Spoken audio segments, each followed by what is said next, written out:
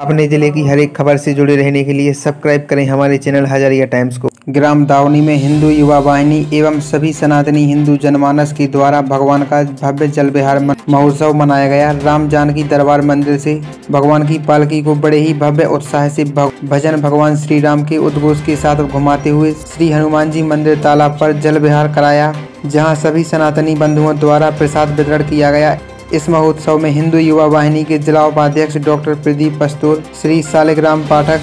श्री रामकिशन पाठक,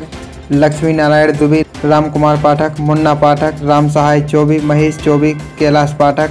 सनत पाठक रूप सिंह पटेल, धर्मेंद्र यादव ग्राम प्रधान, जगदीश पाठक, राजा भैया पाठक, भजन लल्ला यादव, मोहन राय, देशराज राजपूत, अजब सिंह राजपूत, दिनेश पुरोहित ब्रजेंद्र पुरोहित, अखिलेश पाठक, पवन पाठक, छोटू स्वामी पाठक, महादेव पाठक, सुखनंदन कुशवाहा, कंकन पटेरिया राम बाबू सेन, कूरा सेन, ब्रजभान पाल, पवन चौबे, सिब्बू पाठक, सैकड़ों की संख्या में भक्त ग्रामवासी मौजूद रहे।